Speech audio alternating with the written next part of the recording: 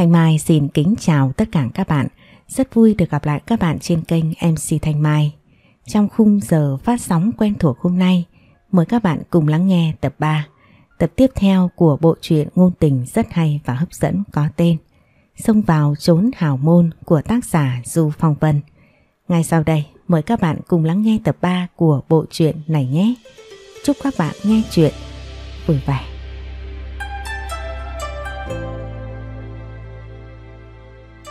Theo ý của Lâm Chí Thành, anh ta không có ý định sẽ bán Tây Ngọc vì thầy Hướng đã nói có thể dùng Tây Ngọc để cứu Mỹ Mi. Vậy nên Lâm Chí Thành muốn giao Tây Ngọc lại cho thầy Hướng. Về việc này, tôi buộc phải có tính toán vì nếu để Tây Ngọc rơi vào tay thầy Hướng, toàn bộ kế hoạch khôi phục lại vũ gia của tôi sẽ rơi vào ngõ cụt. Đồng Tây Nam Bắc Ngọc không thể thiếu dù chỉ là một miếng.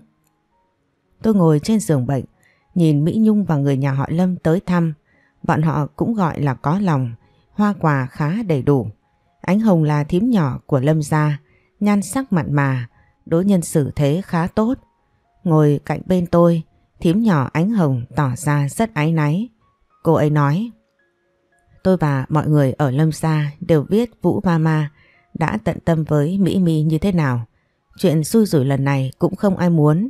Nhưng mà tôi thay mặt Trí Thành hứa với Vũ Mama sẽ tìm ra được hung thủ để làm hạ giận lòng cô. Cô an tâm. Tôi cũng không có gì không an tâm. Căn bản là tôi không tin Lâm Gia có thể truy tìm ra hung thủ. Lòng tin với người của Lâm Gia cũng không có.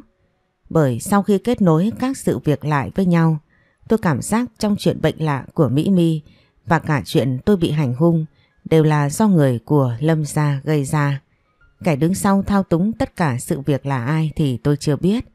Nhưng người của Lâm Gia rất không đáng tin, bao gồm luôn cả Lâm Trí Thành. Mỹ Nhung với cái đầu bị thương cũng đến thăm tôi. Sắc diện cô bé có hơi tái, vẻ lanh lợi cũng đã giảm đi một chút. Vũ Mama đều là lỗi tại em. Nếu em cẩn thận hơn thì em và cô đã không xảy ra chuyện gì. Em thật sự rất xin lỗi cô. Cô bị thương nặng như vậy trong lòng em áy náy lắm. Tôi nhìn Mỹ Nhung nhàn nhã đáp lại cô bé. Không phải lỗi của em, chính em cũng bị thương, đừng đổ lỗi cho mình như vậy. Dừng chút, tôi lúc này lại hỏi. Mỹ Mi sao rồi, chị em không sao chứ?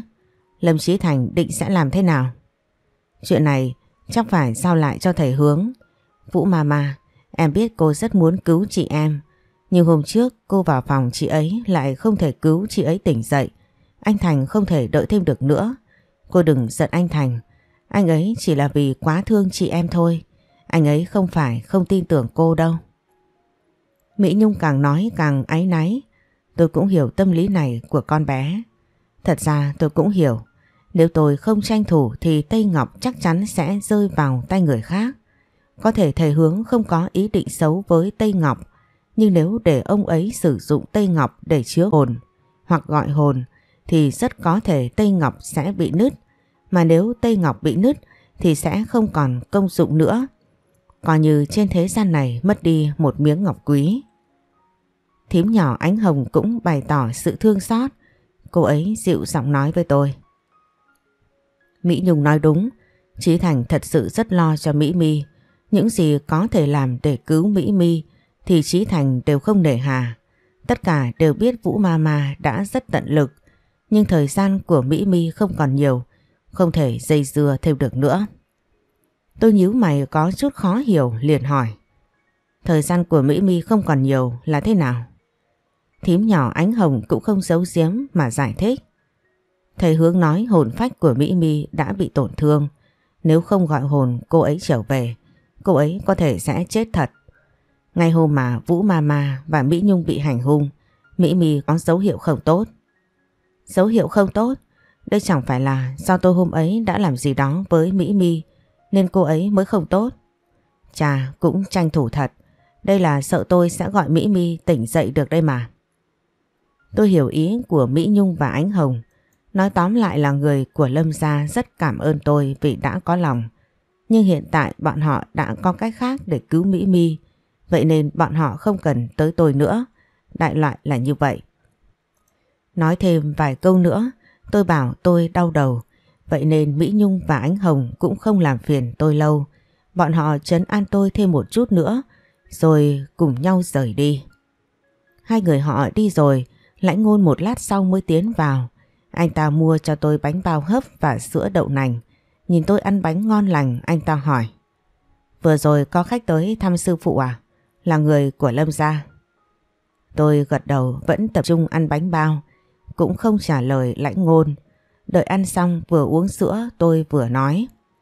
Bọn họ tới thăm tôi, đại loại là muốn bảo tôi đừng liên quan tới chuyện của Mỹ My nữa. Đã có thể hướng thay tôi giải quyết. Lãnh ngôn, anh nghĩ thế nào về chuyện của Mỹ My? Lãnh ngôn bộ dạng rất nhàn nhã, anh ta đáp. Nghĩ thế nào à? Cũng rất khó nói. Nhưng mà tôi nghĩ chuyện Mỹ Mi mắc bệnh lạ, chắc chắn là có liên quan tới người nhà họ Lâm. Cụ thể thế nào?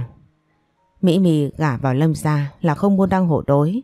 Sống ở Lâm gia cũng không dễ dàng gì. Bởi người nhà họ Lâm không xem trọng Mỹ Mi Mỹ Mi chỉ có thể dựa vào tình yêu của Lâm Trí Thành để sống. Mỹ Nhung là em gái ruột của Mỹ Mi Trước kia là cô bé này gặp được Lâm Trí Thành ở trong bệnh viện. Sau đó Mỹ My với Lâm Trí Thành mới gặp nhau và yêu nhau. Dừng chút, lãnh ngôn lại tiếp tục nói tiếp. Trước kia Mỹ My còn nắm quyền ở Lâm Gia. Cô ấy là có tiếng mà không có miếng. Bởi một nửa quyền lực đều nằm trong tay thím nhỏ ánh hồng. Mặc dù Lâm Trí Thành là người thừa kế Lâm Gia hiện tại. Nhưng trước khi Mỹ My được gả vào Lâm Gia, quyền chủ mẫu tạm thời thuộc về tay ánh hồng. Sau khi Mỹ My gả cho Lâm Trí Thành, dù mang tiếng là chủ mẫu, nhưng người nhà họ Lâm lại không có mấy tôn trọng và tin tưởng cô ấy. Hơn một nửa lâm gia đều nghiêng về phía thím nhỏ ánh hồng. Quyền lực chủ mẫu cũng bị chia ra làm hai. Những gì mà lãnh ngôn điều tra đều giống như những thứ tôi đã nhìn thấy trong giấc mơ của Mỹ My. Mà hơn thế nữa, tình hình hiện thực chắc chắn không phải chỉ dừng lại tại đó. Có vẻ như ánh hồng không đơn giản, chỉ là muốn tranh quyền lực với Mỹ mi Người thím nhỏ này có khi còn muốn tranh luôn cả Lâm Trí Thành. Mỹ mi sống ở Lâm Gia đúng thật là rất không tốt. Em gái ruột thì thích chồng mình, thím chồng cũng thích chồng mình, còn tranh đoạt quyền chủ mẫu. Bảo sao mà Mỹ mi tranh mãi vẫn không tranh lại. Lần này bị hại nằm liệt giường, cũng không biết là tác phẩm của nhân vật nào đây nữa. Lãnh ngôn, chồng của anh Hồng đang ở đâu? Lãnh ngôn chắc cũng đã có điều tra qua, Tôi chỉ cần hỏi anh ta liền nói. Chủ nhỏ của Lâm Trí Thành là Lâm Gia Khang. Ông ta làm ở công ty của Lâm Gia. Nhưng làm ít hơn chơi cũng không thường ở nhà. Sao vậy? Sư phụ nghi ngờ gì à? Tôi lắc đầu uống xong ngụm sữa tôi mới nói. Có nghi ngờ gì đâu. Chẳng qua là thuận miệng mà hỏi thôi. Nếu anh đã tìm hiểu kỹ như vậy về Lâm Gia Chắc anh cũng biết mối quan hệ khác của thím nhỏ Ánh Hồng và Lâm Trí Thành rồi phải không? Lãnh ngôn nhìn tôi bằng ánh mắt nể phục, anh ta cười nói. Sư phụ hay thật, chuyện này cũng biết. Tôi không trả lời, hai mắt mở to để nghe lãnh ngôn nói tiếp. Đúng thật thím nhỏ Ánh Hồng này từng có quan hệ tình cảm với Lâm Trí Thành, nhưng hai người họ đã rõ ràng cắt đứt từ trước, sau đó Ánh Hồng mới về làm vợ của Lâm Gia Khang. Tôi gật gù, Quả thật là như vậy. Cái lâm gia này cũng loạn quá đi mất. Nghĩ nghĩ một chút tôi lúc này lại hỏi. Thầy hướng đó đã định là khi nào sẽ gọi Mỹ Mi tỉnh dậy. Chắc là ngày mai tôi nghe Lâm Trí Thành bảo vậy. Vậy à? Thấy tôi im lặng, lãnh ngôn như nhận ra điều gì đó, anh ta liền hỏi. Sao vậy sư phụ? Cô định làm gì đúng không? Trong phòng chỉ có tôi và lãnh ngôn, mà lãnh ngôn lúc này cũng được xem là một nửa đệ tử của tôi. Ngoài tin tưởng anh ta ra thì tôi cũng không còn tin tưởng ai khác. Đã dùng người là phải tin người. Không tin người thì từ đầu đã không dùng người. Nhìn lãnh ngôn tôi nghiêm túc hỏi. Lãnh ngôn, anh tin tôi không? Lãnh ngôn có phần hơi ngạc nhiên khi nghe tôi hỏi như vậy. Nhưng rất nhanh sau anh ta đã trả lời. Tin, sao sư phụ lại hỏi tôi như vậy? Không đáp lại câu hỏi của lãnh ngôn, tôi chỉ chậm rãi nói. Anh tin tôi là được. Tối nay anh tìm cách đưa tôi về Lâm gia. Tôi muốn gọi Mỹ Mi tỉnh dậy. Tối nay sao? Nhưng chẳng phải sư phụ nói với sức khỏe hiện tại của cô thì không thể đi vào giấc mơ của Mỹ Mi được à? Cô định liều mạng sao? Mạng của tôi rất quý. Tại sao lại liều? Chẳng phải tôi còn có anh là đệ tử à? Để anh đi vào giấc mơ của Mỹ Mi. Tôi ở ngoài chỉ đạo. Lãnh ngôn kinh ngạc, anh ta như không tin mà hỏi lại tôi. Tôi sao? Tôi có thể. Tôi cười tủm tỉm gật đầu. Có thể. Có một sư phụ là tôi thì cái gì cũng có thể xảy ra hết. Miếng ngọc, tây ngọc phải thuộc về tôi. Anh chuẩn bị đi, tối nay chúng ta hành động. Nói là làm đúng 10 giờ khuya, lãnh ngôn giúp tôi trốn khỏi bệnh viện. Đến hơn 12 giờ đêm, lãnh ngôn lén đưa tôi vào phòng riêng của Mỹ My. Thông thường ban đêm Lâm Trí Thành đi làm về rất muộn. Vì sợ ảnh hưởng đến Mỹ My, anh ta thường xuyên ngủ ở phòng phụ sát bên cạnh. Hôm nay cũng như vậy, đợi sau khi Lâm Trí Thành đã sang phòng phụ để nghỉ ngơi, tôi với lãnh ngôn mới gión rén vào phòng Mỹ My. Đúng như bọn người Mỹ Nhung đã nói, thần sắc của Mỹ My hôm nay rất kém, mạch đập yếu, sắc diện cũng không còn hồng hào. Tôi trước là đi tới kiểm tra thân thể cô ấy, không phát hiện có điều gì bất thường.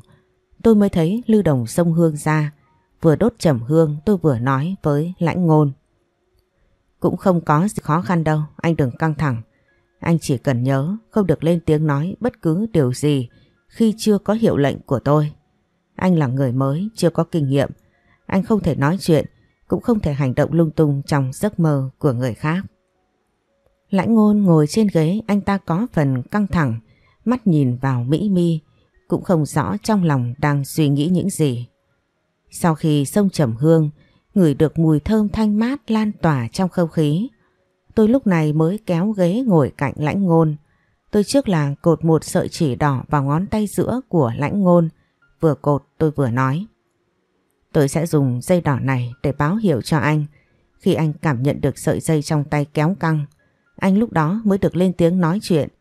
Khi nhìn thấy Mỹ Mi phát hiện ra anh, anh phải bảo cô ấy tỉnh dậy. Phải nói rằng là có người đang muốn giết cô ấy. Bảo cô ấy tỉnh dậy ngay. Mỹ Mi nghe được tiếng gọi của anh, hồn phách cô ấy sẽ thức tỉnh. Chỉ đơn giản như vậy thôi, anh hiểu chưa? Lãnh ngôn hít vào một hơi, không thể giấu đi sự hồi hộp. Có điều tâm khí của anh ta rất cao, bản lĩnh cũng không thiếu. Một chút hồi hộp đó cũng không ảnh hưởng gì tới năng lực của anh ta. Sau khi cột dây đỏ vào tay lãnh ngôn, tôi cắn máu ở đầu ngón tay giữa, sau đó ấn máu lên chán lãnh ngôn để tạo sự liên kết. Sư phụ tôi nói, giải mộng sư có thể điều khiển hồn phách của người khác để đi vào giấc mơ của người thứ ba. Chỉ cần giải mộng sư có đủ năng lực, thì chuyện nhờ người khác đi vào giấc mơ của người khác nữa đều không phải là chuyện gì khó khăn. Nhưng mà đây là trong tình huống bản thân giải mộng sư không đủ điều kiện về sức khỏe để đưa hồn phách vào giấc mơ của người khác, nên mới cần đến người trung gian đi thay. Bởi việc điều khiển hồn phách trung gian đi vào giấc mơ của người khác cũng sẽ gặp nguy hiểm nếu như giấc mơ của người thứ ba quá mức độc hại. Nói đơn giản hơn là hồn phách của người được điều khiển chỉ có thể làm theo hiệu lệnh của giải mộng sư. Nếu gặp nguy hiểm trong giấc mơ, hồn phách trung gian sẽ không có được khả năng tự bảo vệ bản thân mình. Nếu không phải tôi đã từng đi vào giấc mơ của Mỹ Mi, cảm nhận được giấc mơ của cô ấy quá lành tính, vậy thì tôi cũng sẽ không dám liều mà bảo lãnh ngôn đi thay tôi vào giấc mơ để gọi Mỹ Mi tỉnh dậy. Lãnh ngôn chưa có kinh nghiệm gì, cũng chưa được dạy chú thuật của mộng huyền linh. Nếu gặp chuyện gì nguy hiểm trong giấc mơ, anh ta chắc chắn sẽ không xử lý được. Sau khi chuẩn bị xong, tôi bảo lãnh ngôn nhắm mắt trước, sau đó đọc chú thuật, điều khiển hồn phách của lãnh ngôn đi vào trong giấc mơ của Mỹ Mi. Mộng huyền linh thức tỉnh, mượn hồn phách tiến vào trong giấc mơ. Dứt câu, trước mặt tôi hiện lên một khoảng không gian màu trắng, sau đó lại xuất hiện một khoảng không gian khác màu đen. Những gì mà tôi nhìn thấy hiện tại cũng chính là những gì mà lãnh ngôn nhìn thấy, tức là anh ta đã đi vào trong giấc mơ của Mỹ Mi. Trong mơ, Mỹ Mi ngồi dưới mưa, toàn thân ướt sũng, thân thể gầy gò, ánh mắt căm phẫn cùng đau lòng nhìn về phía hành lang. Mà ở hành lang, Ánh Hồng cùng với Mỹ Mi đang đứng ở đó, ở giữa là Lâm trí Thành. Anh ta một tay ôm cả hai cô gái xinh đẹp vào lòng, Bên hồn bên đựng, không hề biết xấu hổ là gì. Cả ba người bọn họ ôm ấp thân mật với nhau, không xem Mỹ Mi vào mắt, cũng rất hả hê và vui vẻ khi nhìn thấy Mỹ Mi trong bộ dạng thảm hại như vậy. Tôi có hơi ngạc nhiên khi nhìn thấy một màn đặc sắc trong mơ này. Không nghĩ mới chỉ có một hai ngày mà giấc mơ của Mỹ Mi lại thay đổi chóng mặt tới mức như vậy. Lúc này trong mơ mang một màu sắc đen tối và u uất cùng sự căm phẫn và đau thương đến trong không gian giả tưởng mà vẫn có thể cảm nhận được. Xem ra nếu nay mai tôi không vào gọi Mỹ Mi tỉnh dậy, thì rất có thể cô ấy sẽ không bao giờ muốn tỉnh dậy nữa. Vậy xem ra, kẻ chủ mưu đã hại Mỹ Mi biết chút gì đó về thuật mộng huyền linh của giải mộng sư. Bởi vì phảng phất đâu đây trong giấc mơ của Mỹ Mi, tôi có thể nhìn thấy được mùi vị của sự sắp đặt và thao túng. Rõ là có kẻ muốn đẩy Mỹ Mi đến con đường không thể cứu vãn được nữa. Nếu đến cả trong mơ mà Mỹ Mi cũng có thể nhìn thấy được cảnh chồng mình, ôm ấp người phụ nữ khác, thì cô ấy còn động lực gì để sống tiếp nữa. Chưa kể Lâm Chí Thành còn ngoại tình với Mỹ Nhung và Ánh Hồng, gấp đôi sự đau đớn và suy sụp dành tới cho Mỹ Mi thao túng người khác trong mơ để giết ý chí và nghị lực sống của họ. Chiêu này cũng thực là đủ ác. Tôi vẫn chưa ra hiệu cho lãnh ngôn, vẫn để cho anh ta xem giấc mơ của Mỹ Mi.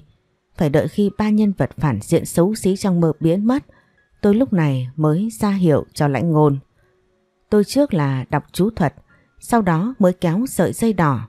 Lúc này cũng chính là thời điểm lãnh ngôn chính thức xuất hiện trong giấc mơ của Mỹ Mi. Lãnh ngôn có vẻ hơi lạ lẫm, nhưng dưới ánh mắt ngỡ ngàng của Mỹ Mi, anh ta rất phối hợp, dùng lời nói để kích thích suy nghĩ của Mỹ Mi, cố gắng kéo cô ấy về với hiện thực.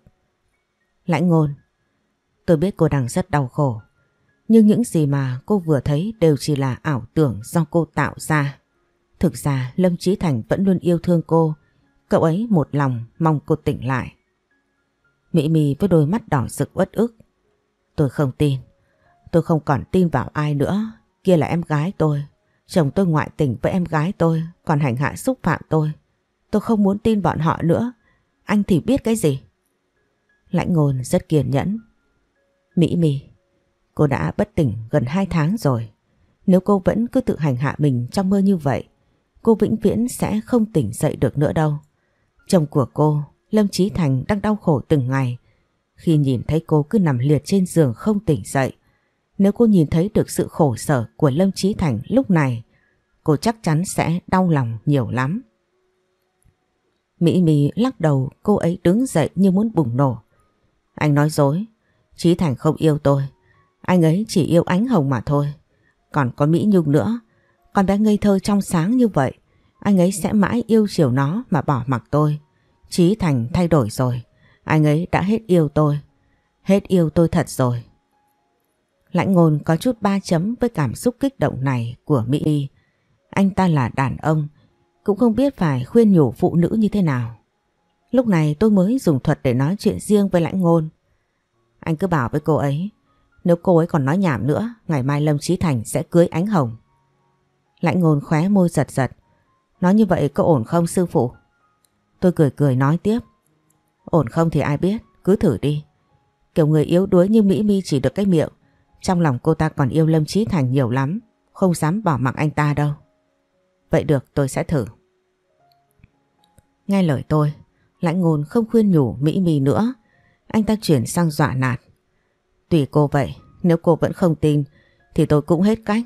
Cô cứ tiếp tục chìm đắm trong mơ mộng đi. Ngày mai Lâm Trí Thành sẽ cưới Ánh Hồng, ngày mốt sẽ cưới Mỹ Nhung Lúc đó cô khóc cũng chưa muộn. Đúng là tôi đoán rất chính xác. Vừa nghe lãnh ngôn nói Lâm Trí Thành sẽ cưới vợ. Mỹ Mì trong mơ như chấn kinh. Cô ta trợn mắt nhìn lãnh ngôn quát lớn. Không, làm sao Trí Thành có thể trở thành người như vậy? Anh ấy đã hứa sẽ yêu thương và bảo vệ tôi suốt đời. Anh ấy còn từng chấp nhận từ bỏ thân phận để được rước tôi vào Lâm gia.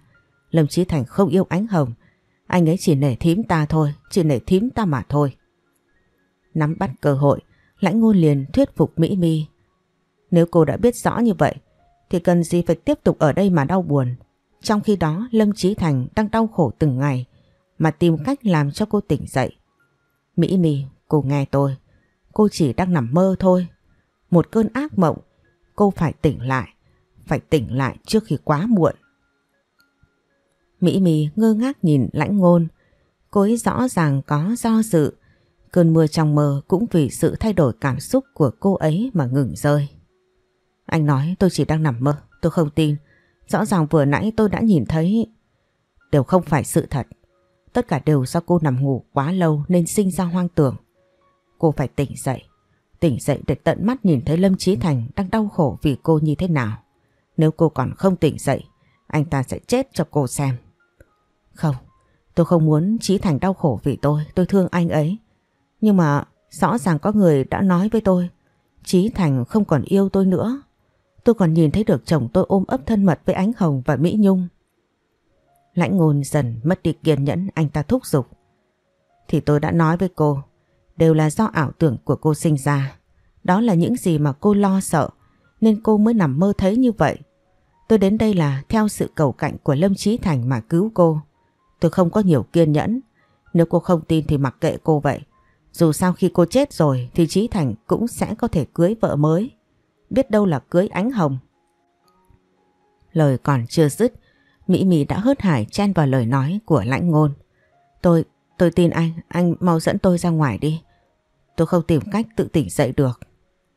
Như đã có được kết quả, lãnh ngôn kéo sợi dây đỏ trong tay, đồng thời cũng lên tiếng. Sư phụ, bây giờ phải làm sao nữa? Tôi rất hài lòng về kết quả này. Tôi nói riêng với lãnh ngôn. Anh đưa ngón tay giữa lên miệng cắn một cái. Sau đó ấn máu của anh lên trán Mỹ Mi. Tôi sẽ kéo hai người cùng ra. Lãnh ngôn không mấy tình nguyện, mặt mày nhăn nhó. Đau lắm, không còn cách nào khác sao? Tôi gật đầu. Có, anh có thể đánh bầm mắt Mỹ Mi. Đánh càng mạnh càng tốt. Cô ta đau quá sẽ tỉnh lại thôi. Vẫn là lãnh ngôn. Thôi, để tôi lấy máu của mình. Tôi không thể ra tay với phụ nữ. Tôi không trả lời. Lãnh ngôn có tận hai quyền lợi để lựa chọn. Anh ta muốn dùng cách nào thì dùng, tôi không quản được. Nhưng nếu là tôi thì tôi sẽ đánh bầm hai mắt của Mỹ Mi vì tôi rất sợ đau. Lãnh ngôn giữa ánh mắt hoang mang tò mò của Mỹ Mi trong mơ. Anh ta đưa ngón tay lên miệng cắn, nhưng vì sức không đủ nên cắn mãi cũng không thấy máu chảy ra. Tôi nhìn một cảnh tượng trước mắt khóe môi giật giật, tức giận muốn chửi tục. Chỉ là lấy chút máu thôi mà, lãnh ngôn thật là quá yếu đuối rồi. Cũng vào ngay lúc này, tôi nghe thấy bên ngoài cửa phòng có tiếng bước chân đang đi tới, còn có tiếng trò chuyện của hai ba người. Linh cảm không tốt, tôi lúc này hét lên với lãnh ngôn. Có người muốn vào phòng, anh mau đi lãnh ngôn, mau kéo Mỹ mi tỉnh dậy, mau lên, mau không kịp bây giờ. Lãnh ngôn nghe thấy tiếng tôi hét lên anh ta cũng dối, miệng cứ cắn hoài ngón tay. Nhưng càng dối thì cắn càng không đủ sức, cũng không thấy tí xíu máu nào chảy ra. Tiếng nói chuyện đã rất gần, chốt cửa cũng có dấu hiệu vặn mở. Tôi hốt hoảng, nếu như có người phát hiện, tôi không kịp kéo lãnh ngôn và Mỹ Mi ra ngoài thì nguy to. Mỹ Mi thì không nói, phiền nhất là lãnh ngôn nếu không kéo kịp, anh ta rất có thể sẽ mắc kẹt lại trong giấc mơ của Mỹ Mi. Căng thẳng cực độ, tôi hét lên thêm lần nữa đồng thời ra lệnh, cắn cái gì, đánh. Lời còn chưa dứt, còn chưa kịp nghe tôi ra lệnh, Lãnh ngôn đã đấm vào mắt Mỹ Mì. Một cú đấm hết sức khủng khiếp. Mỹ Mì ngã ra đất. Lãnh ngôn lại đấm thêm một cú nữa. Mỹ Mì trực tiếp bất tỉnh. Nhìn thấy Mỹ Mi ngất tôi liền kêu lên. Nắm lấy tay của Mỹ Mi. Tôi kéo hai người tỉnh dậy. Nhanh lên. Lãnh ngôn không nắm tay Mỹ Mi. Anh ta vác luôn Mỹ Mi lên vai. Cũng vào ngay lúc này tôi đọc chú. Đồng thời giật dây đỏ. Kéo hồn phách của lãnh ngôn và Mỹ mì ra ngoài. Phòng được mở ra, mắt tôi cũng mở. Lãnh ngôn cũng đã tỉnh dậy. Cả hai bọn tôi đều nhìn về phía cửa phòng, cảm xúc lẫn lộn. Mà Lâm Trí Thành khi nhìn thấy hai người bọn tôi, anh ta tròn mắt hét lên. Sao hai người lại ở đây? Chẳng phải tôi đã nói là không cho Vũ Mama được chạm vào Mỹ Mi rồi mà. Cậu lì lợm như thế sao hả lãnh ngôn? Cậu có tin? Lời còn chưa dứt, trong không gian gay cấn nghẹt thở, một giọng nói khàn đục bé nhỏ vang lên khe khẽ. Anh Thành, Chí Thành. Quá may người tỉnh rồi tôi cũng đỡ biết bao nhiêu chuyện phiền phức. Hạ màn thôi. Nhiệm vụ của tôi đã xong. Bây giờ giao lại cho lãnh ngôn xử trí. Tôi phải đi. Lãnh ngôn, cậu sao vậy? Sao lại ngất? Lãnh ngôn, lãnh ngôn. Lâm Chí Thành vừa kêu, tôi cũng vừa đưa tay đỡ lấy thân thể cứng đờ của lãnh ngôn ngã vào người tôi. Hai mắt lãnh ngôn nhắm chặt, hô hấp đều đặn, chứng tỏ anh ta chỉ là đang bất tỉnh. Nhưng tại sao lại bất tỉnh? Sức khỏe của lãnh ngôn rất tốt. Trong mơ vừa rồi cũng không gặp nguy hiểm gì. Làm sao có thể bất tỉnh được? Tôi ôm lấy thân thể của lãnh ngôn. Linh cảm thật sự rất không tốt. Lãnh ngôn ngất, chuyện này không hay rồi đây. Mỹ Mì tỉnh dậy, lại ngồn, lại ngất. Chuyện này thực làm cho tôi có chút bối rối.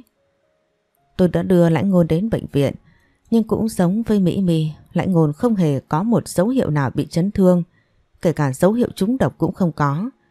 Mà Lâm Trí Thành cũng đã nói với tôi, triệu chứng này của lãnh ngôn rất giống với Mỹ Mì lúc mới bất tỉnh, thật sự rất kỳ lạ. Lãnh ngôn nằm ở bệnh viện, tôi để anh ta cho y tá chăm sóc, tôi phải tới Lâm ra một chuyến, bởi tôi còn có rất nhiều chuyện cần phải làm cho rõ. Lâm gia sau một ngày kể từ khi Mỹ Mi tỉnh dậy, không khí ở Lâm gia có chút khác biệt. Tôi tới thăm Mỹ Mi vốn cũng không muốn hỏi tới những chuyện đã xảy ra trong Lâm gia, nhưng có một vài chuyện bắt buộc tôi phải hỏi tới. Đối diện với thái độ có chút né tránh của Mỹ Mi, tôi khó chịu dứt khoát mà nói thẳng. Đại thiếu phu nhân, cô đừng hiểu lầm. Người cứu cô là lãnh ngôn, tôi chỉ giúp đỡ một chút thôi, không dám nhận công. Nhưng cũng vì cứu cô mà lãnh ngôn bất tỉnh, đến giờ cũng chưa tỉnh dậy. Vậy nên có một số chuyện cô bắt buộc phải cho tôi biết rõ, không được né tránh. Nếu cô né tránh, vậy thì cũng đừng trách tôi tuyệt tình mà trả tình trạng của cô về đúng với ban đầu. Tôi cứu cô được, tôi hại cô cũng được, cô suy xét cho kỹ. Lâm Chí Thành cũng có trong phòng, nghe tôi nói như vậy, ánh mắt anh ta nhìn tôi thập phần nghi kỵ. Vũ Mama, đây là cô đang uy hiếp vợ tôi. Thái độ của tôi trước sau luôn nghiêm túc, một chút sợ hãi cũng không có. Nếu các người đụng tới lợi ích của tôi, tôi cũng không ngại uy hiếp. Hai chữ ơn nghĩa vừa còn đó, mạng của Mỹ Mi là do lãnh ngôn cứu. Nếu các người không biết đạo lý, vậy thì tôi cũng chẳng cần phải nói đạo lý với các người. Lâm Trí Thành, Tây Ngọc anh còn chưa đưa cho tôi. Vợ chồng anh vừa thiếu tôi ân tình, vừa thiếu cả vật chất. Lâm Trí Thành không giống Mỹ Mi, anh ta là người lăn lộn làm ăn, khí thái cũng khác người thường. Lâm Trí Thành tôi đã hứa thì sẽ làm được. Tôi cũng không nói là không giao Tây Ngọc cho cô. Tôi đã chuẩn bị sẵn, dù sao cũng là một miếng ngọc. Tôi không thiếu thốn đến vậy. Nhưng còn những lời nói vừa rồi của cô, rõ ràng là uy hiếp đến vợ tôi. Cô dám động đến vợ tôi. Cô ăn gan trời rồi. Tôi trong mày, lửa giận tích tụ trong lòng, khí thế bừng bừng, một chút lép vế cũng không có. Gan trời, nếu có vụ an tôi cũng muốn ăn thử. Lâm đại thiếu gia không cần hù dọa tôi. Mạng vợ anh thì quý, vậy còn mạng của đệ tử tôi thì sao? Nếu hôm nay vợ chồng anh không nói cho rõ ràng, vậy thì Lâm gia anh đừng mong có ngày yên ổn. Cô... Nhìn thấy tình hình càng lúc càng căng thẳng, Mỹ Mì liền khuyên nhủ bên này xin lỗi bên kia. Sắc mặt cô ấy đã trắng, lúc này còn trắng hơn, giọng nói cũng hết sức yếu ớt. Vụ An, vợ chồng tôi không phải muốn giấu cô, cô đừng giận. Nghe tôi nói đã, đừng giận như vậy. Mỹ Mì sức khỏe rất yếu, nghe cô ấy cố gắng nói như sắp đứt hơi tới nơi. Tôi cũng không muốn ép cô ấy quá đáng. Chấp thuận nghe Mỹ Mi nói, tôi tạm thời sẽ không đối nghịch với Lâm Trí Thành nữa. Được rồi, cô nói đi, tôi nghe. Thấy tôi chịu thỏa hiệp, Mỹ Mi như nhẹ nhõm được phần nào. Cô ấy nhìn tôi, ánh mắt ngấn nước như sắp sửa rơi lệ, giọng cô ấy thủ thỉ. Vũ mà mà, ơn cứu mạng của cô và lãnh ngôn, tôi không có quên, chỉ là có một số chuyện tôi không biết phải giải thích với cô như thế nào. Cô muốn biết về kẻ đứng sau hãm hại tôi, tôi cũng không phải là không thể nói cho cô biết, chỉ có điều một khi cô đã biết rồi xin cô đừng làm hại con bé. Tôi nhíu mày nghi ngờ mà hỏi. Đừng làm hại con bé. Người cô đang nhắc đến là Mỹ Nhung. Mỹ Mi khổ sở gật đầu phiền muộn không dứt. Phải là con bé. Nhưng thật ra con bé không cố tình muốn hại tôi đâu. Là con bé bị người ta lừa. Là có người muốn lợi dụng con bé để hãm hại tôi. Lâm Chí Thành nghe những lời này, anh ta như không chịu đựng được nữa liền gằn giọng với Mỹ Mi. Vợ à, Mỹ Nhung nó hại em thành ra như vậy mà em vẫn còn bao che cho nó. Chính em biết nó, thích anh, em vẫn mắt nhắm mắt mở cho nó làm càn. Anh trước giờ bao dung với Mỹ Nhung đều là vì em. Nếu không vì em, anh đã tìm cách tách Mỹ Nhung ra khỏi Lâm gia từ lâu rồi. Anh biết, anh biết em không an tâm về anh và ánh Hồng. Nhưng giữa anh và ánh Hồng chẳng có gì. Anh để thím ấy vượt quyền cũng là vì muốn rèn luyện em.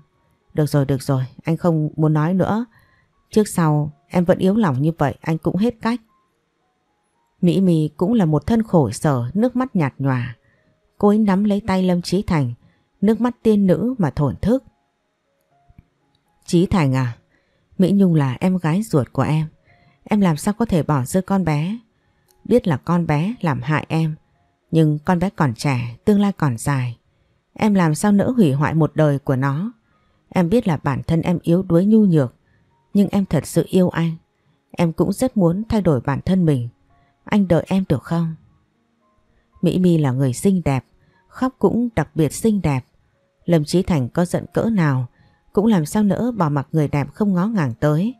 Thế là hai người bọn họ, một nam một nữ ôm lấy nhau mà ủy mị, bỏ quên luôn một người sống sờ sờ là tôi, đang ngồi ù ra một đống.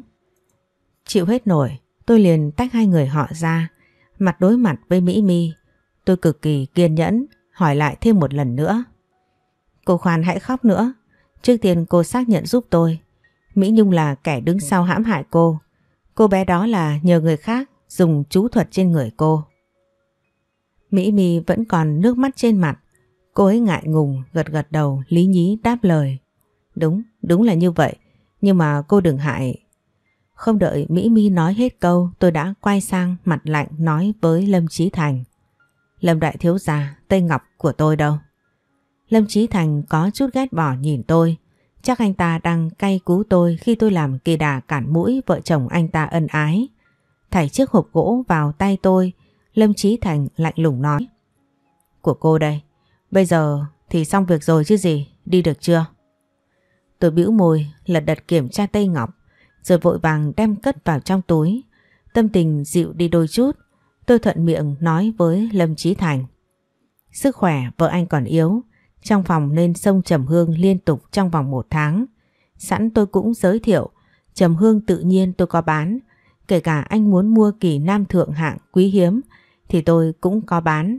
Anh cần thì liên hệ tôi, chỗ quen biết, tôi sẽ để giá bình thường lại cho anh. Nói xong với Lâm Trí Thành tôi lúc này mới quay sang nói với Mỹ My là nể mặt lắm mới nói. Cô là chủ mẫu của Lâm gia. Cô không thể cứ giữ mãi cái tính yếu đuối không dứt khoát như vậy được. Sẽ chỉ làm hại cô mà thôi. Lần này chồng cô cứu cô được.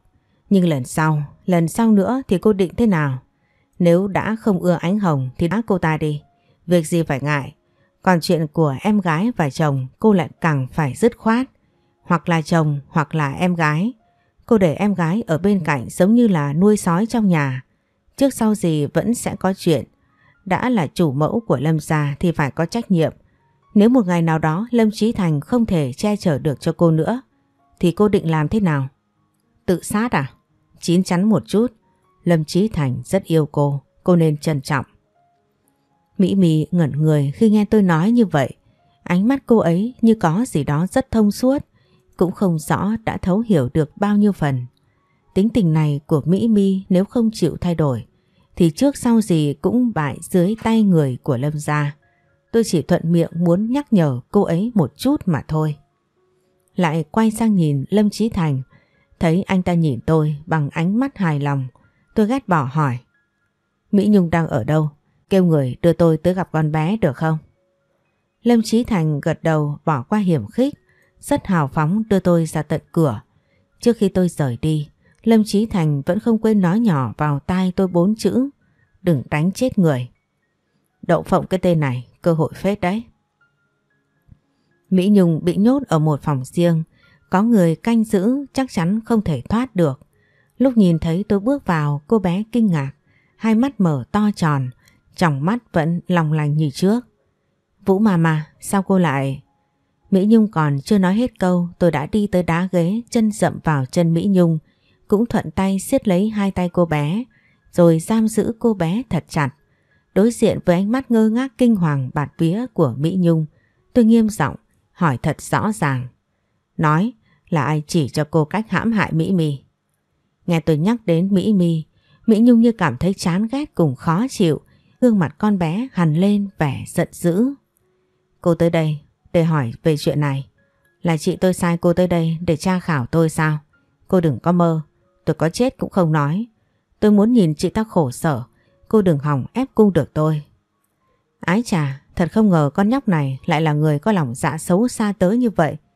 Con mắt nhìn người của tôi dạo này có hơi kém. Chắc tôi phải rèn rũa thêm nhiều rồi. Nhíu mày tôi cong ngón tay búng vào chán Mỹ Nhung cái bóc. Như cảm thấy chưa đủ. Tôi búng thêm gần chục cái nữa. Đợi tới khi Mỹ Nhung chịu không được mà khóc ỏa lên tôi mới ngưng. Bóp cầm con bé ngăn không cho tiếng khóc phát ra tôi bực bội quát. Khóc cái gì mà khóc? Lúc hại người sao không khóc? Bây giờ bị búng chán có mấy cái mà khóc cái gì? Nín ngày, cô mà khóc nữa thì tôi còn búng nữa. Búng tới khi nào móc chán của cô thì thôi, nín chưa? Mỹ Nhung vùng vằng nhưng sức con bé không làm lại tôi, vẫn luôn bị tôi khống chế. Nhìn thấy mặt mày con bé nửa xanh nửa tím, tôi phát bực nói thẳng cho nhanh gọn. Tôi tới đây hỏi cô là vì muốn cứu đệ tử của tôi, chẳng liên quan mẹ gì đến chị em nhà cô cả. Bữa này, hoặc là cô nói rõ ràng, hoặc là tôi đấm cô nâu mắt, búng cô móp chán. Tôi nói trước, con người tôi nói được làm được không dọa cô đâu. Nếu muốn chán bị búng tới biến dạng, thì cứ lì nhiều một chút để xem chán cô cứng hay tay tôi cứng. Vừa nói tôi vừa tiếp tục búng vào chán của Mỹ Nhung. Ban đầu cô bé còn chịu đựng, nhưng chỉ mấy giây sau cô bé đã lạ oải oái, khóc lóc vùng vẫy vì quá đau. Tôi vẫn không dừng tay. Tôi vẫn canh ngay giữa chán Mỹ Nhung mà búng. Động tác tay càng lúc càng thành thạo búng tới bầm tím cái chán của cô bé vẫn chưa chịu ngưng. Một công đôi việc, tôi là vừa tra hỏi chuyện của lãnh ngôn, cũng là vừa trả thù cho cái đánh lén trời sáng ngày hôm trước. Chuyện của ai ải ai mà tôi bị vạ lây khâu mấy mũi, nghĩ tới vẫn còn cay lắm. Chán Mỹ Nhung hết đỏ lại chuyển sang tím, cô bé hét toáng lên vội vội vàng vàng kêu lên với tôi. Đau quá, cô dừng tay đi, đau quá, đau quá. Tôi chừng mắt vẫn búng bóc bóc liên tục. Vậy có chịu nói không? Ai là kẻ chủ mưu đứng sau bày trò cho cô? Nói, nói nhanh.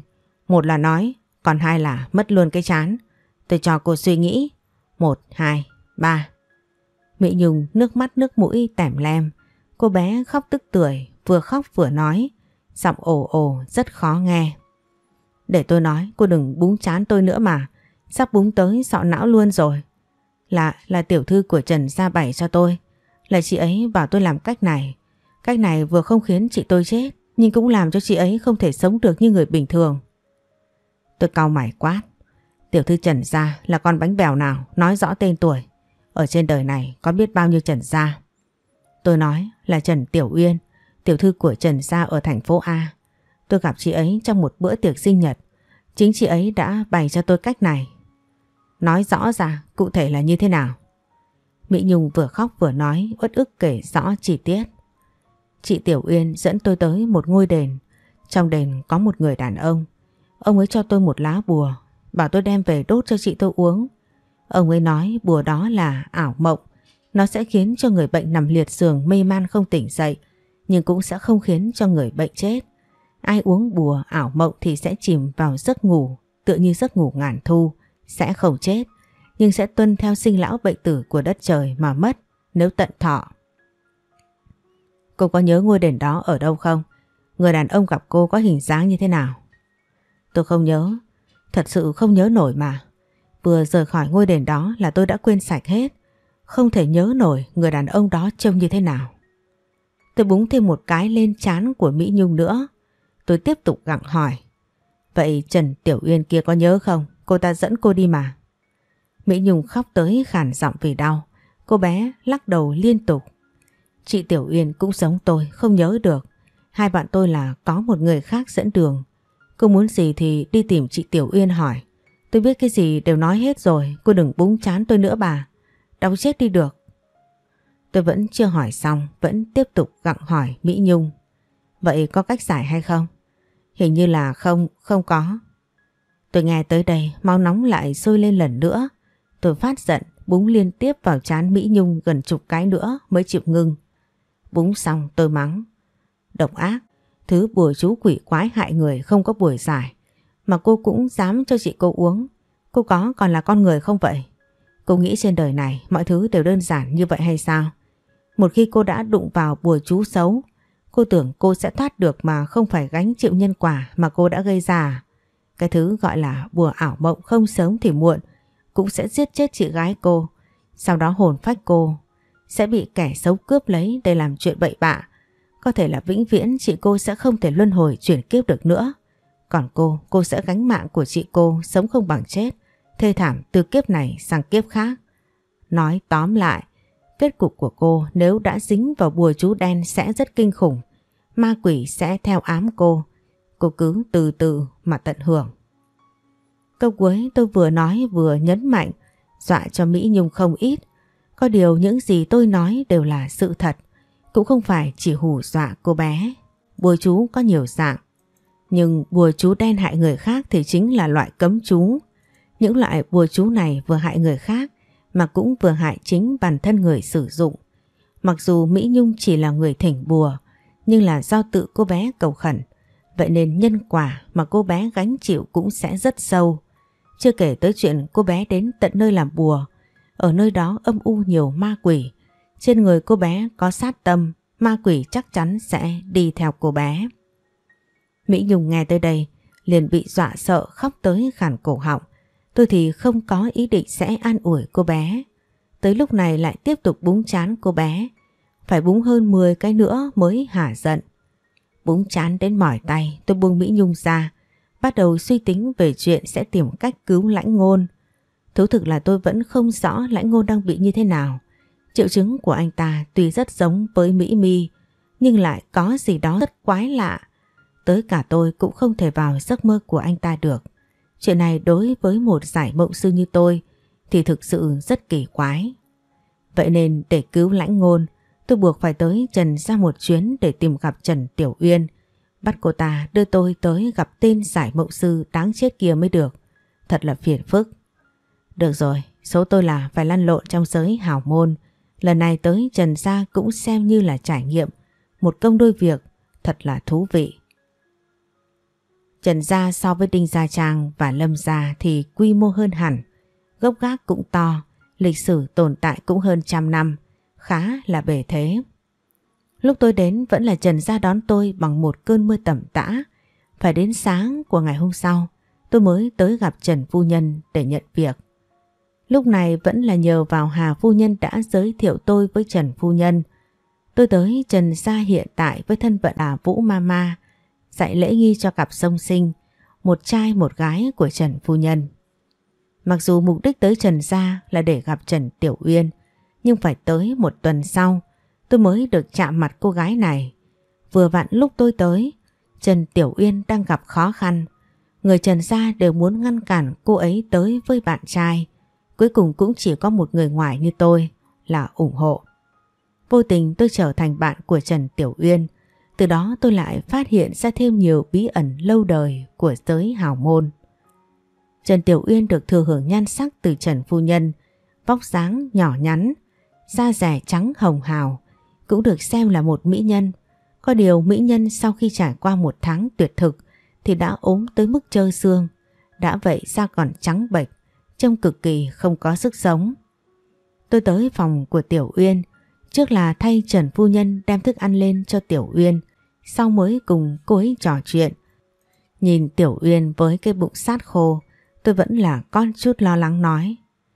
Cô ăn chút gì đi, bây giờ cô có tuyệt thực đi chăng nữa, thì người nhà cô cũng sẽ không cho cô đi gặp bạn trai cô đâu. Nếu chỉ vì một người đàn ông mà đói chết thì sẽ rất kỳ cục, làm ma đói khổ sở lắm đó. Tiểu Uyên ngồi trên ghế cả người không có sức lực, ốm yếu mà lên tiếng.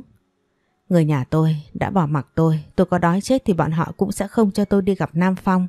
Có phải không? Tôi gật đầu thẳng thắn thừa nhận. Cô đã biết như thế, vậy thì còn tuyệt thực khổ sở như thế này làm gì? Ăn đi, bạn trai có thể không có, nhưng đồ ăn ngon thì tuyệt đối đừng nên bỏ lỡ. Tôi không muốn ăn. Được rồi, tôi không có đủ kiên nhẫn để đi dỗ dành con của người khác. Nếu đã không ăn thì nhịn đói, quá đơn giản. Tôi ngồi xuống ghế nhìn mâm thức ăn nóng ấm mà hai mắt sáng rực. Tôi cầm đũa gắp thức ăn cho vào trong miệng, vừa ăn vừa nói. Cô không ăn thì nhịn đói tiếp đi, để tôi ăn thay cô cho. Trần Phu Nhân đã nhờ tôi đi khuyên cô ăn uống. Nếu cô không ăn, đồ ăn bị bỏ đi. Vừa phí cũng vừa phụ lòng mẹ cô. Cô cứ ngồi đó đau khổ đi. Tôi mượn chỗ ăn một chút, ăn xong sẽ rời đi. Nghe thấy tôi nói như thế, lại nhìn thấy tôi ăn đồ ăn ngon lành. Tiểu Uyên trước là trợn mắt nhìn tôi, sau đó cũng là không chịu nổi mà lết tới, thì Thảo nói với tôi. Cô, sao cô không khuyên tôi, nếu cô khuyên tôi... Tôi khoác tay, vừa nhai vừa đáp. Khuyên cô làm gì? Cô muốn chết đói thì để cô chết. Tôi khuyên cô chỉ làm cô thêm cố chấp. Đồ ăn ngon như vậy mà cô không ăn. Nếu bỏ đi thì mang tội. Cô đừng ngại. Cứ để tôi ăn dùng cho. Ngày nào tôi cũng sẽ tới ăn dùng cho cô ha. Tiểu Yên chắc chưa gặp ai tham ăn không biết nói lý lẽ như tôi. Vậy nên sau một hồi trợn mắt trái lồi mắt phải, cô ấy cũng không chịu đựng được màn múc bang chân thật của tôi mà nuốt nước miếng. Nhào tới cùng tôi tranh giành đồ ăn. Ăn hết một tô mì, một cái bánh ngọt, uống một ly sữa, bụng no căng cứng. Tôi hài lòng nhìn về phía Tiểu Uyên đang gặm bánh mì bằng ánh mắt bất mãn. Tôi cười nói. Lúc đầu cứ ăn đi thì có phải được ăn ngon rồi không? Bày trò tuyệt thực làm gì? Trò này cũ dích rồi, không còn hiệu nghiệm đâu. Tiểu Yên nhăn nhó mặt mày mà nhìn tôi. Cô ấy đang nhai bánh mì, vừa nhai vừa lầm nhầm. Chưa thấy ai như cô, đồ ăn của tôi cũng rảnh, vậy là đi khuyên nhủ tôi giữ chưa? Tôi mặc kệ sự bất mãn của Tiểu Uyên. Ai bảo cô ấy không ăn, tôi chỉ là giúp đỡ cô ấy đỡ phí phạm thức ăn. Cô ấy nên cảm ơn tôi mới đúng. Sau vụ ăn uống, Tiểu Uyên lúc này mới có sức mà than thở với tôi. Vũ mà mà, cô nói xem, tại vì sao người nhà tôi lại không đồng ý để tôi cưới Nam Phong? Tiểu Uyên đã hỏi tôi cũng không ngại mà đáp. Người nhà cô không đồng ý là một chuyện, người nhà của bạn trai cô cũng không đồng ý mới là chuyện quan trọng. Nếu cả hai nhà đã không đồng ý, mối duyên này cô cũng nên từ bỏ đi thôi. Tiểu Uyên không đồng ý. Cô ấy tức giận cùng đau lòng oán trách với tôi. Nhưng tôi không cam tâm, tôi yêu Nam Phong. Nam Phong cũng yêu tôi. Bọn tôi yêu nhau không phạm vào đại tội.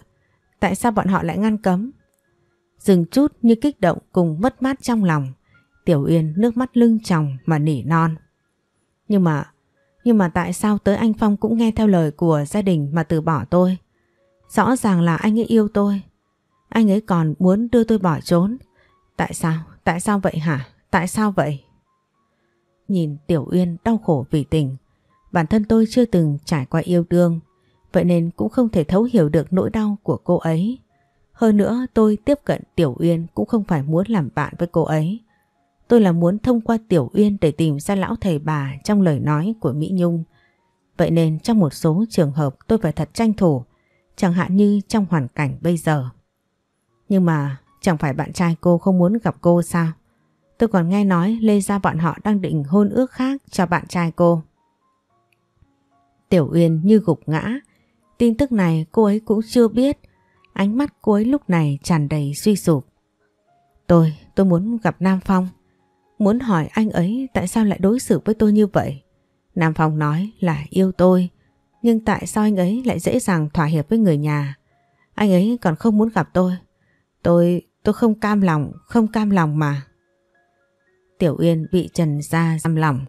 Nếu không có lệnh sẽ không ai có quyền mở cửa cho cô ấy ra ngoài. Vậy nên mặc dù rất muốn đi tìm Nam Phong, thế nhưng Tiểu Uyên lúc này không thể, cũng không có khả năng. Mà Nam Phong ở Lê Gia cũng không muốn gặp Tiểu Uyên. Anh ta giống như đã quên mất đi một người bạn gái lụy tình là Tiểu Uyên đây. tôi nghĩ nghĩ bắt đầu tìm cách thỏa hiệp với Tiểu Uyên.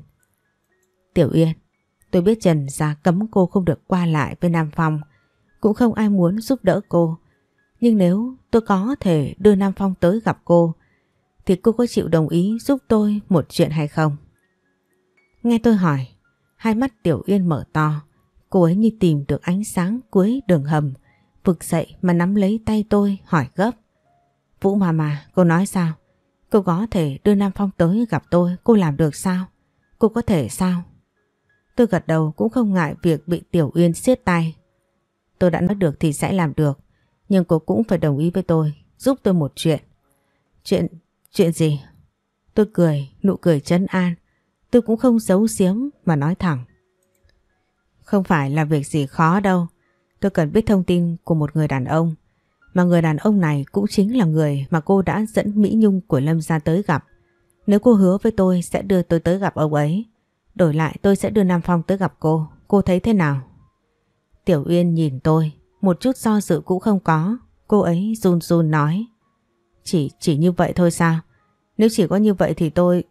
Tôi đồng ý. Thỏa hiệp. Có được sự thỏa thuận này của Tiểu Uyên tôi hài lòng. Cũng không ngồi lại lâu trong phòng cô ấy. Tôi về phòng để chuẩn bị tới Lê ra một chuyến.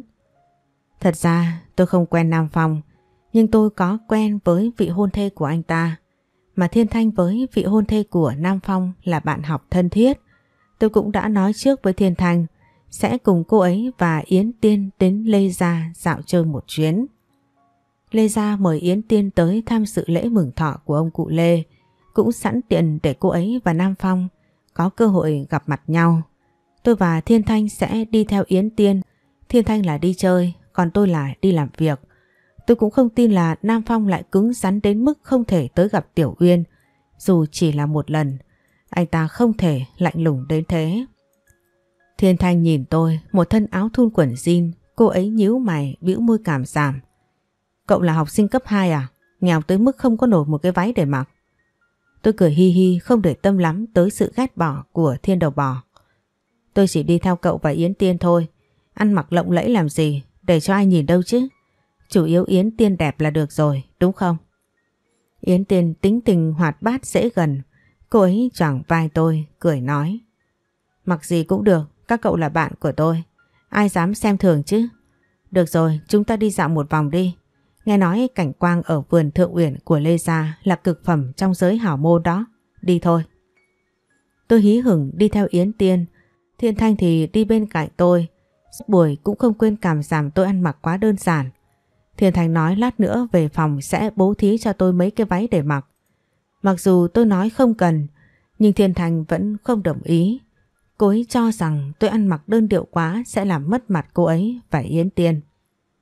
Thiên đầu bò, người cũng như tên, lì y như châu bò vậy. Vườn thượng uyển của Lê Gia trồng rất nhiều hoa. Toàn là hoa lạ, nhìn thích tới hoa cả mắt. Yến Tiên tính tình hào sảng. Cô ấy mang tâm thế tới để thưởng thức tham quan, cũng không phải tới để xem mặt phu quân. Thiên Thanh nói với tôi Yến Tiên có lẽ là không thích Nam Phong. Cô ấy đồng ý tới Lê Gia là vì không muốn bà nội của cô ấy phải buồn lòng. Ngồi một lát trong vườn hoa, cuối cùng thì nhân vật quan trọng nhất cũng xuất hiện. Nam Phong đi theo sau lưng Lê Phu Nhân, thần sắc anh ta không được tốt, người cũng ốm đến đáng thương. Nhìn thấy bộ dáng này của Nam Phong, tôi lại nhớ tới Tiểu Uyên. Đúng thật hai người này là vì tình mà điên đảo. Nam Phong chắc thảm cũng không thua gì Tiểu Uyên đâu. Một đôi chim Uyên yêu nhau bị gia đình ngăn cấm. Nghĩ cũng thấy thật đáng thương. Lê Phu Nhân cùng Nam Phong tới trò chuyện với Yến Tiên. Chủ yếu là để cho đôi trẻ gặp mặt. Nam Phong không biết là có bị ép hay không. Nhưng mà thái độ anh ta đối với Yến Tiên cũng rất tốt. Hòa nhã và ga lăng.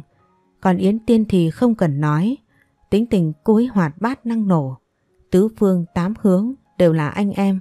Vui vẻ có thừa. Tôi với Thiên Thanh rảnh rỗi.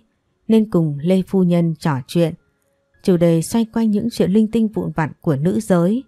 Lê Phu Nhân có lẽ là rất hài lòng với hai người bọn tôi. Bởi nếu bàn về tư sắc hay là phong thái, cả tôi và Thiên Thanh đều có thừa. Lê Phu Nhân còn hỏi tới xuất thân của tôi và Thiên Thanh. Nhưng hai người bọn tôi đều giấu, không muốn dính sâu tới người nhà họ Lê. Ngồi được một lát, Lê Phu Nhân mời bọn tôi cùng tới nhà chính để dùng bữa. Nhưng tôi và Thiên Thanh đã khéo léo từ chối, vậy nên chỉ có một mình Yến Tiên tới dùng bữa. Yến Tiên đi rồi, chỉ còn lại tôi và Thiên Thanh về lại phòng. Đi bên cạnh tôi, Thiên Thanh đột nhiên hỏi.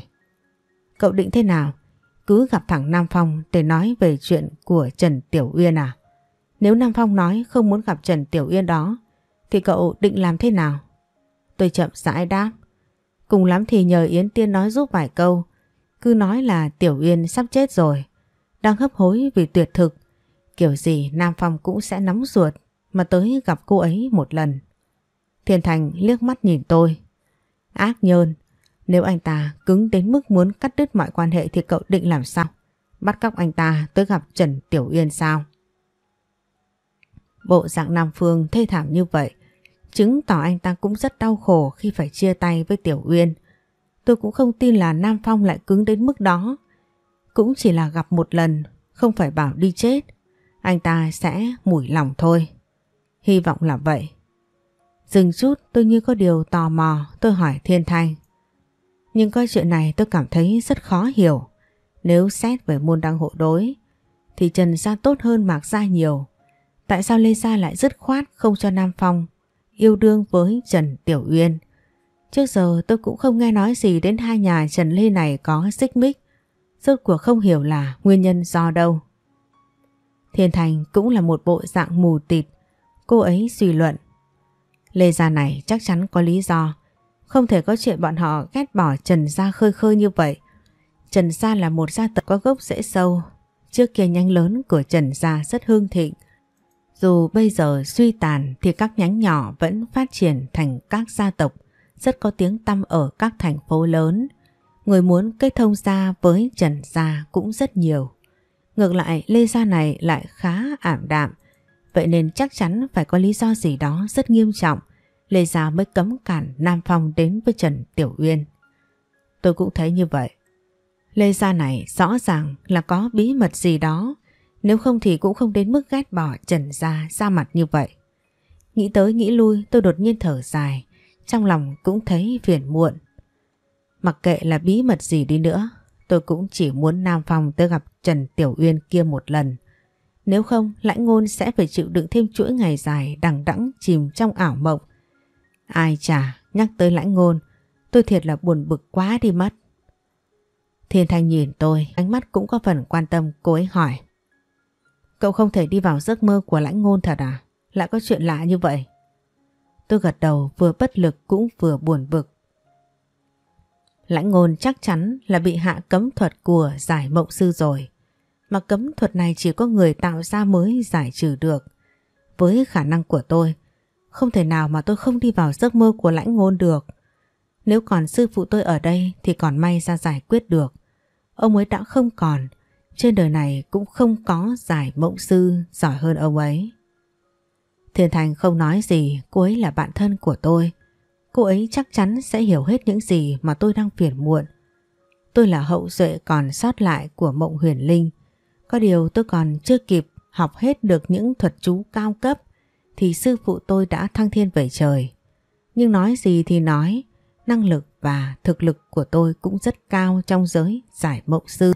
Vậy nên nếu tôi nói không thể giải quyết được, vậy thì chắc chắn là không thể làm được gì. Chuyện phiền phức và bất lực như thế này tôi thật sự rất không thích. Lê Già về đêm rất yên tĩnh, khác hẳn với không khí vui tươi náo nhiệt của ban ngày. Đêm này tôi mất ngủ, chắc có lẽ vì buổi tôi uống trà sữa nên lúc này hai mắt cứ sáng trưng như đèn pha. Thiên Thành và Yến Tiên ngủ say như heo chết. Sau một hồi pha đám kêu ca, không ai chịu ra chơi cùng tôi, nên tôi đành phải ra ngoài hít không khí trong lành một mình. Trong vườn thượng uyển của Lê Gia có một đại sảnh cao cách mặt đất 5 mét. Ở đây thường để người Lê Gia ngắm sao hoặc là tổ chức những buổi tiệc nhỏ. Trời về đêm nên khá lạnh, tôi khoác thêm một chiếc áo, bước lên sảnh để hóng tiết trời thanh lành về đêm. Trời về đêm rất đẹp, không khí cũng trong lành.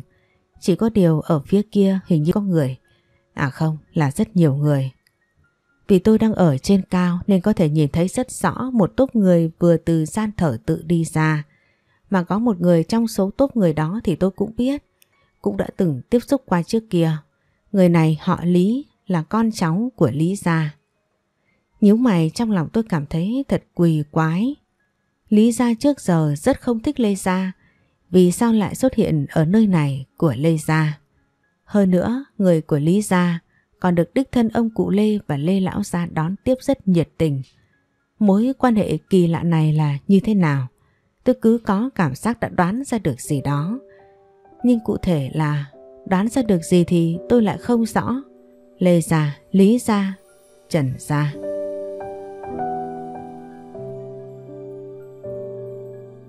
Các bạn thân mến, các bạn vừa nghe xong tập 3 của bộ truyện ngôn tình rất hay và hấp dẫn có tên Xông vào trốn hào môn của tác giả Du Phong Vân.